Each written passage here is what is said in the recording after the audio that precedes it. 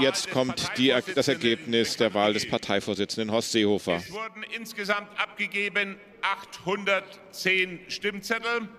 Davon waren ungültig 17, gültig 793. Auf Horst Seehofer entfielen 664 Stimmen.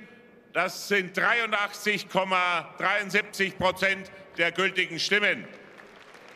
Lieber Horst Seehofer, herzlichen Glückwunsch.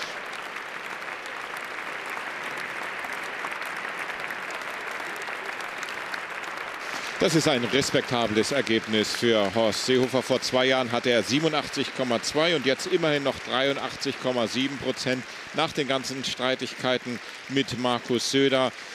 Also die Harmonie, die hier jetzt offiziell ähm, gezeigt wird, kommt an bei den Delegierten. Ähm, großes Vertrauen durchaus für Horst Seehofer, der jetzt schon das Mikrofon in der Hand hat, um diese Wahl anzunehmen.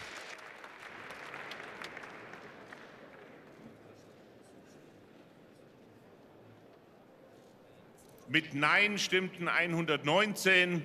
Darüber hinaus entfielen dann noch fünf Stimmen auf Manfred Weber, vier auf Markus Söder und eine auf Ilse Aigner.